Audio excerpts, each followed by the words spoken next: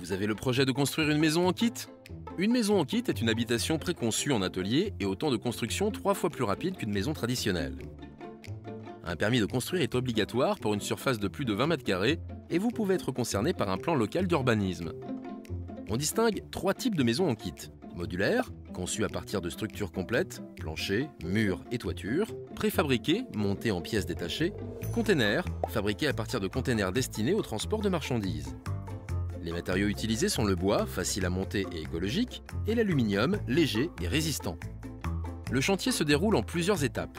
La préparation du terrain et les fondations, l'assemblage de la structure et du toit, l'isolation, les raccordements électriques et sanitaires. Si vous voulez construire vous-même, il est fortement recommandé d'être assisté par des professionnels, maçons, plombiers, électriciens. À quoi penser d'autre? À une étude du sol pour anticiper un éventuel affaissement. Aux normes énergétiques RT 2012, obligatoire pour une construction neuve. À limiter la consommation d'énergie en optant pour un poêle à bois.